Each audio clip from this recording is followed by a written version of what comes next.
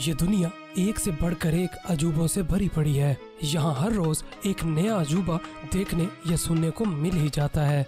इसी तरह animal kingdom में अपना बसेरा बनाने वाले जानवरों की प्रजातियों में एक से बढ़कर एक अजूबे होते हैं। तो आइए हम आपकी मुलाकात आज की वीडियो में ऐसे ही जानवरों से करवाते हैं। और ये इतने अनोखे होते हैं, पहली नज़र में इन्हें देख कर पहचानना तो दूर की बात। और तो और, कई बार तो ये तय कर पाना भी बहुत मुश्किल हो जाता है, आखिर ये जानवर कौन है? लास्ट तक साथ बने रहिएगा, क्योंकि ये वीडियो बहुत ज़्यादा मज़ेदार होने वाला है।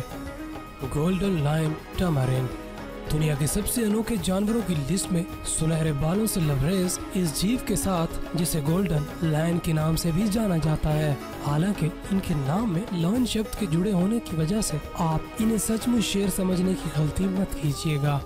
और ये बर्गर की प्रजाति है, जिनके पूरे शरीर पर गोल्डन रंग के बाल होते हैं। और इनकी गर्दन पर बालों का बसेरा इस तरह से होता है कि देखने वाले को यही महसूस होता है कि जैसे ये किसी शेर की गर्दन हो। आमतौर पर ब्राज़ील में पाए जाने वाले इन बंदरों की लंबाई लगभग 24 सेंटीमीटर तक होती है, जबकि इनका वज़न करीब 540 ग्राम के आसपास होता है। तो वहीं अपने इस अनोखे रूप की वजह से ये बंदर दिखने में इंतहाई प्यारे लगते हैं। जेबरा डकर, पहली नज़र में देखते ही कोई भी इंसान इन्हें पहचानने में धोखा खा सकता है। ये बिल्कुल दिखने में किसी जेबरा का छोटा रूप होते हैं। हालाँकि इनके शरीर पर जेबरा जैसी धारियाँ ज़रूर होती हैं, लेकिन सच में ये कोई जेबरा नहीं बल्कि ये एक एंटीडोट है। और ये जानवर लाइब्रेरिया में पाए जाते हैं और इन्हें शारीरिक रूप से भी काफ़ी ज़्यादा कमज़ोर माना जाता है। ओ काफ़ी। इसे देखकर आप भी यही सोच रहे होंगे कि भला ये कौन सा जानवर है?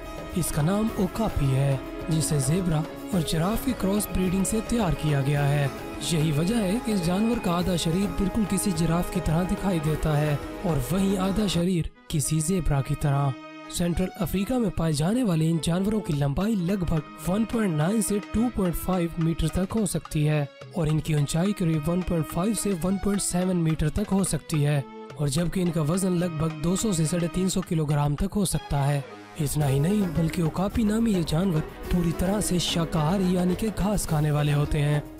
इंडियन जाइंट स्क्वायरल आपने अपनी ज़िंदगी में प्यार से उछल कूद करने वाली प्यारी सी गुलहरियों को तो देख ही रखा होगा। मगर इस वीडियो में हम आपको जिस गुलहरी से मिलवाने वाले हैं, वो बहुत ज़्यादा स्पेशल है, जिसका नाम है इंडियन जॉइंट स्केरल लुक के मामले में ये गुलहरी बेहद अट्रैक्टिव होती है और इन्हें दुनिया की सबसे खूबसूरत गुलहरियों में से एक माना जाता है।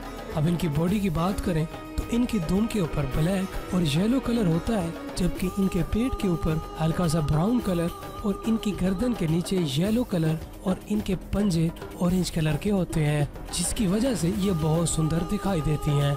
और बाकी गुलहरियों के आकार की निस्बत इनका आकार बहुत ज़्यादा होता है। और तो और, इन्हें फ्लाइंग स्क्यूरल के नाम से भी जाना जाता है। क्योंकि अगर ये एक पेड़ से दूसरे पेड़ पर जाना चाहे तो जब ये छलांग लगाती हैं तो इनकी एक छलांग 20 मीटर तक की भी हो सकती है। जिसकी वजह से अगर कोई इन्हें पहली नज़र में देखता है तो उसे ये महसूस होता है, छलांग नहीं, ये गुलहरी उड़कर दूसरे पेड़ पर जा रही है।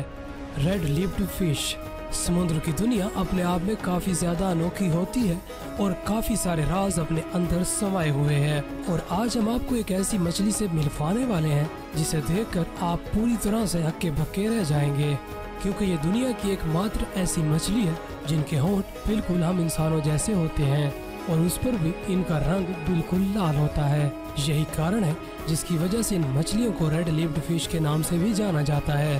और तो और, इन मछलियों के पैर भी मौजूद होते हैं, जिसकी मदद से ये समंदर में तैरने के साथ साथ समुद्री मैदान पर चल भी सकती हैं।